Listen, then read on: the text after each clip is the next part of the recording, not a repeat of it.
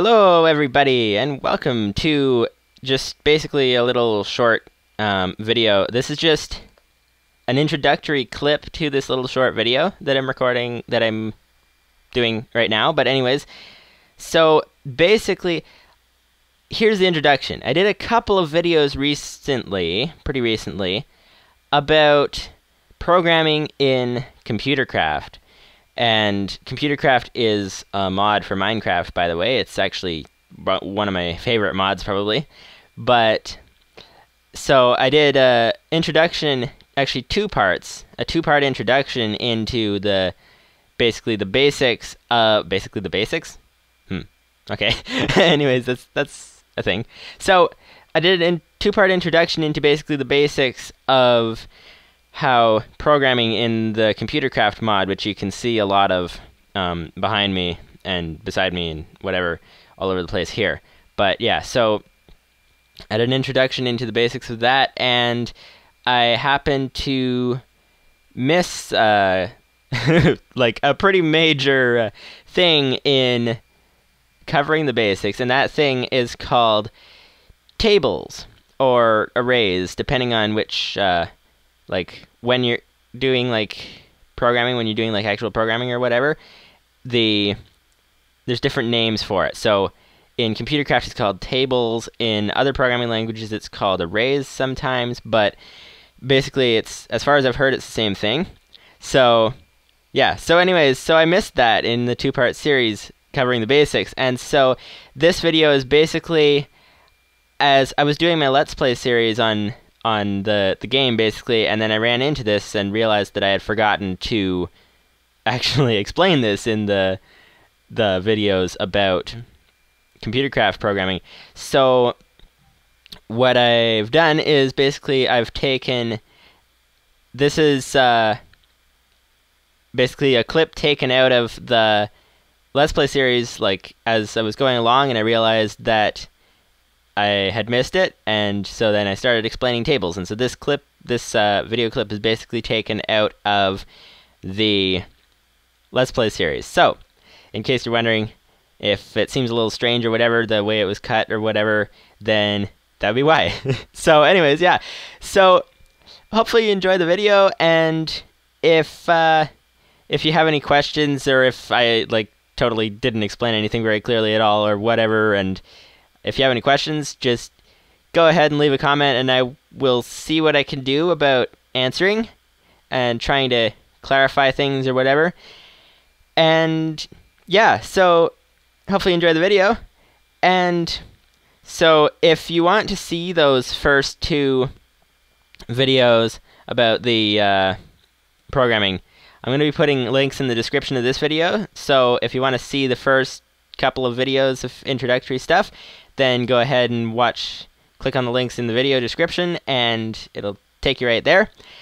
And, uh, well, actually, you know, personally, I think part two had a better explanation of what's going on than part one did, but, anyways, that'll be up to you to decide if you want to check them out. So, anyways, yeah. So, hopefully, you enjoy the video, and here it is you know what? Actually, this brings up something I forgot to explain in the previous video about uh, about the Computercraft programming and stuff. Is I forgot to explain tables and uh, arrays or tables is the same thing. It's just a different name for it. So this has to do with that, and I'm not really sure how to explain it, but basically Oh, you know what? I can explain it this way because let's see if I save exit go back into the Lua prompt here okay so if I type turtle turtle dot inspect then you can see let's do inspect down just because that's what we're working with okay so you can see it says true, and then it says name equals Minecraft colon log, metadata equals 10. Basically, that's all information inside this this um, command. This is all the information that you get from this command. And the problem is that's that's a lot of different information and variables I'm pretty sure it can only store one type of information at a time. So basically like one one piece of information basically. So if like so this we get a true or false, we get what the name is, we get the the metadata and that's three different pieces of information and a variable can only store one. So you can make a variable and I don't know if it actually works in the Lua prompt like this or not, but we'll find out. So let's call it variable and then make it equal to let's just say x just for the sake of simplicity. x equals and then if we do turtle, let's spell it correctly, get my fingers in the right order. Turtle dot inspect down. Okay, so x equals turtle dot inspect down. So now if we type x, it will tell us true. Because the variable can only store one piece of information, so it just stores the, the true part and doesn't keep the rest of it what we can actually do is set this up as a, a table which can store multiple pieces of information, basically. So there's different ways to do that, but basically the standard way is with a squiggly bracket like there, and a squiggly bracket there. And if I did that right, if we type x, see it's suggesting we can put a dot in. If we just type x like that, then you see instead of just saying true, it says true and it has the name and it has the metadata included. If we do what it wanted to do with x dot, we can do x dot name. Nope. Actually, I did that wrong. we, uh, why does it suggest a dot? Because actually now I'm remembering the dot, I think it's, I've used it other places before. Hmm. Well, you know what?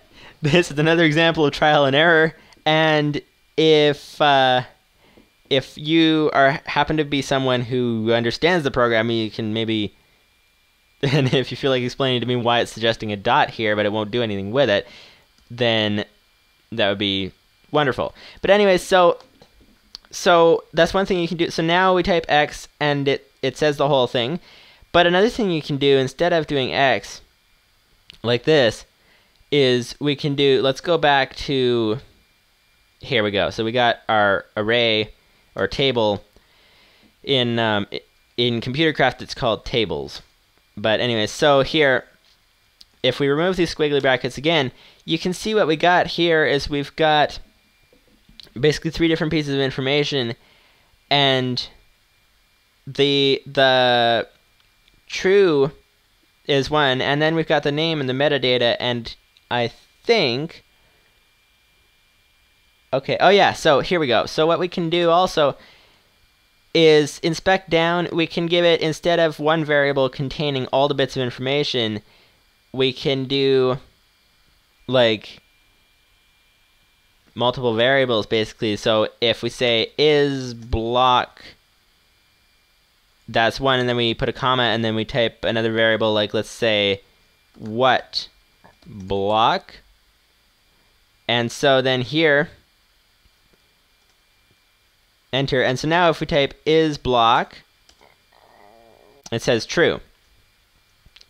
And then if we type what block, here's where the dot comes in. So I don't know why it was suggesting a dot before, but anyways, now what block dot metadata or dot name. So basically we can do what block dot name and it'll say Minecraft colon log. If we do instead what block dot metadata, it will say 10. So that's where the dot comes in. So it's just a different way because let's go back to the uh, previous. Let's type in the command again up here.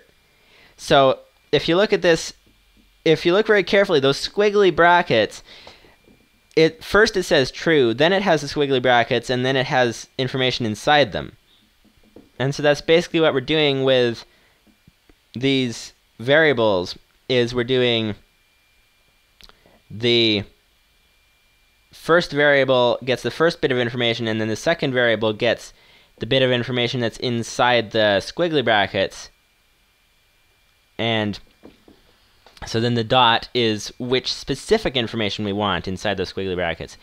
So that's basically, if that makes any sense, hopefully that does, but if that makes any sense, then good. but anyways, so if you have any questions, I will do my best to answer them. But anyways, so, okay, let's get back into Lava Elevator. So with that explained, then we can make variables. So let's say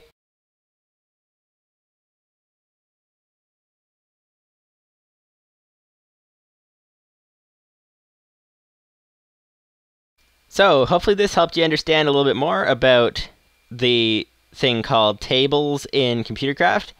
And yeah, hopefully, you enjoyed the video. And if you want to learn anything more about all that stuff or whatever, anything more about programming in Minecraft, because I actually, I personally think it's quite a lot of fun.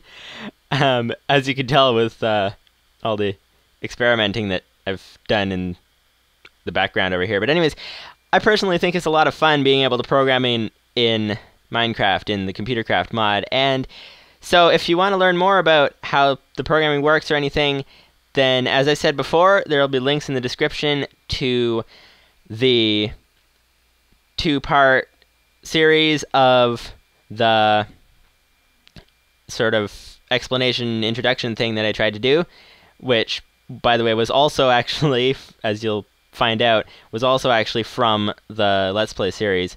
But anyways, so yeah, so if you want to find out, if you want to learn more about it, there's links in the description to those two videos, and I'm thinking about actually putting all these videos as a playlist, and so if I do that, then there'll be a link in the description to the playlist, uh, possibly instead of the videos or possibly alongside them. I don't know because the playlist will contain the videos anyways. So, anyways, so yeah, anyways, so uh, hopefully you enjoyed the video and let me know if you have any questions or whatever, and I will see what I can do about answering them. So, see you later. Bye bye.